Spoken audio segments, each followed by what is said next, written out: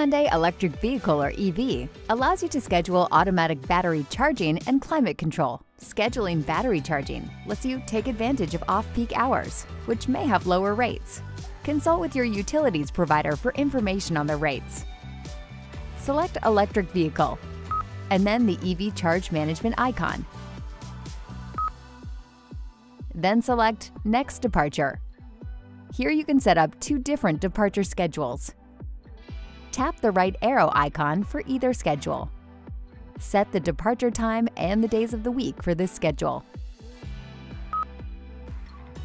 You can also set the climate control to have the vehicle at the pre-selected temperature at your time of departure. You can also set the windshield defroster to turn on.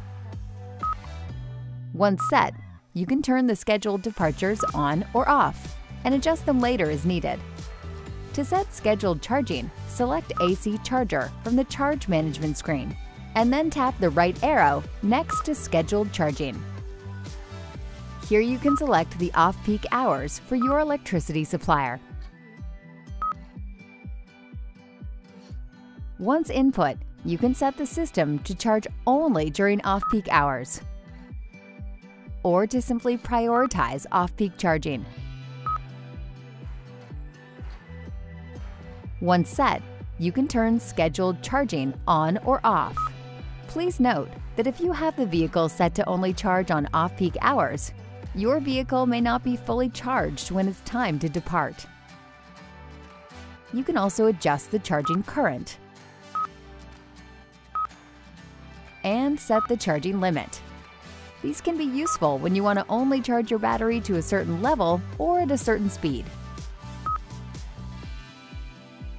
Finally, you can always temporarily override the scheduled charging when you plug your vehicle in.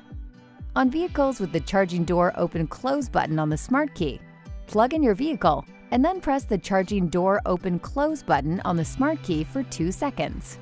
On vehicles with the charger door open close button, you can also press and hold the close button for 2 seconds to start charging. On other models, press the Charge Now button inside the charger door. There is much more to know about charging your Hyundai electric vehicle, such as charge ports, charging limits, and preconditioning. Be certain to watch all of the videos in the Hyundai electric vehicle charging playlist to ensure that you're getting the most out of your Hyundai EV. For more information on these features, be sure to consult your owner's manual, available at My Hyundai, or the user's manual, accessible via the touchscreen. And be sure to explore the how-to guides on the Hyundai USA YouTube channel and at My Hyundai.